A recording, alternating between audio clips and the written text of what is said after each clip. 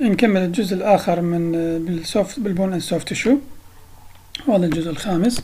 وصلنا ال peripheral nerve tumor اللي هي أول واحد راح ناخذ ال neurofibroma neurofibroma is not encapsulated tumor arising from the peripheral nerve. We have uh, three main types. Either localized type اللي يكون على شكل polypoid ممكن يكون solitary or multiple. وعندنا ال plexiform neurofibroma وعندنا ال diffuse neurofibroma ال multiple localized type وال plexiform neurofibroma وال diffuse neurofibroma associated with the neurofibromatosis type 1 اللي هو von Recklinghausen disease while 90% of localized type of neurofibroma, neurofibromas are solitary كل ال neurofibromas اللي multiple وخصوصا ال plexiform آه، عندها risk تقريبا 3 إلى 10% for malignant transformation for uh, malignant peripheral nerve sheath tumor هذه 3 إلى 10% تمثل على الرغم على الرغم هي قليلة بس تمثل 50% من المالجنت peripheral nerve sheath tumor هذا التيومر طبعا tumor uh, aggressive soft tissue tumor 50% من الحالات اللي هي المالجنت tumor هي arising from multiple neuropibromas especially البلكسيفورم type. ك histology راح نشوف؟ خلينا أول شيء gross grossly we have this one اللي هو ال solid ال localized type هذا أي واحد ممكن يصير به مو شرط عنده neurofibromatosis وإذا كانت multiple عاد يصير مع ال neurofibromatosis type 1 هذا ال plexiform وهذا ال diffuse type أو ال multiple type ك histology راح نشوف؟ راح نشوف هذا ال plexiform type عندنا spindle cell tumor spindle cell tumor و it is unencapsulated without capsule. ال characteristic feature مالته إنه يكون wavy nucleus wavy wavy nucleus and wavy collagen fiber يعني مرات أو يسموها serpentine أو snake like nuclei with wavy collagen fiber. These are the gross and microscopic features of uh, neurofibroma طبعا ممكن يكون disfiguring tumor خاصة لما يكون diffuse type طبعا diffuse type يجي على شكل subcutaneous large mass و disfiguring وهذا ال plexiform يكون عادة affecting major nerve هذا الريموفال مالته شو يسوي؟ الريموفال مالته لأنه طالع من major nerve أو من nerve fiber آه، nerve trunk فلما يسوي ال excision ممكن يطخون ال nerve فيصير عندنا neurological deficit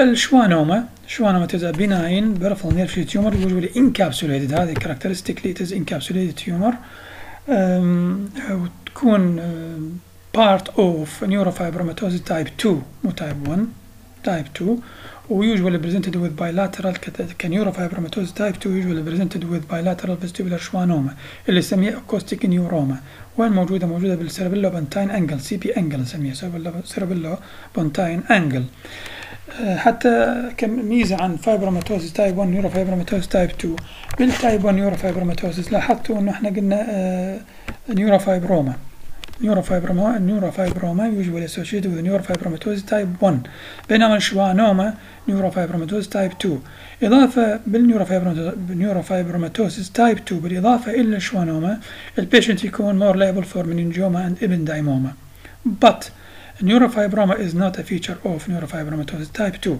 ك histology إيش راح نشوف أول شيء uh, encapsulated encapsulated tumor هذا ال tumor هو هذا الجسم تشو تلاحظون بها true capsule و histologically composed of two areas cellular area and hypocellular area ال cellular نسميه Antoni A وال hypocellular نسميه Antoni B بال Antoni A أكو structures bodies يعني هذه مثلا أو هذه هذه cellular bodies نسميها Verocay bodies Verocay bodies اللي هي شنو؟ عبارة عن منطقة fibrillary material وحواليها ال nuclei مصفوفين صف palisading مصفوفين حوالين ال fibrillary material الموجودة الكولاجين هذا نفس الشيء. فهذا نسميه Verocay bodies هذا نسميه Verocay bodies ف these are the features of neurofibromatosis. تقريبا خلصنا مواضيع ال soft tissue بس عندنا مواضيع سريعة. المطلوب من هذا skeletal muscle أكثرها physiology و histology ما راح نتعلق بها كثير. عندنا بس الأمراض اللي تصيب ال skeletal muscle عندنا ال muscular atrophy وال muscular neuromuscular junction gravis myasthenia gravis اخذتوها ال inflammatory myopathies muscular dystrophies وغيرها وغيرها. اذا بس تقروها إحنا راح كل المطلوب عندكم كامتحان هو مطلوب. ال muscular dystrophies اللي هو ال Duchenne muscular dystrophy وال Becker's أو Becker's muscular dystrophy راح نحكي عليها بس على السريع هسه. ناخذها.